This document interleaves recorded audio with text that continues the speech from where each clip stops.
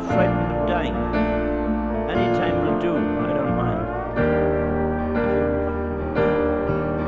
Why should I be frightened of dying? There's no reason for it, you've got to go sometime.